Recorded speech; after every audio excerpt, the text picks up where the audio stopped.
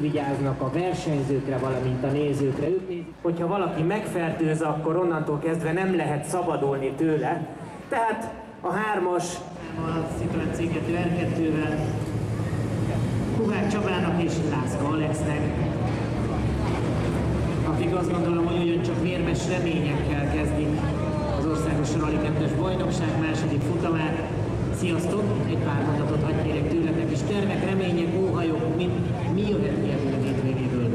Sziasztok! Hát az első számú cél az, hogy célba érjünk, de szeretnénk itt a hazai közönség előtt egy jót autózni, és azért a top 10-be betelni. És holnap beszélünk, mindenkinek ezt tudom mondani, hogy találkozunk majd itt a célban, a DVTK stadion szomszédságában, mert akkor az azt jelenti, hogy az elsődleges célt, a verseny sikeres teljesítését mindenki meg tudja majd oldani és véghez tudja vinni. 207-es a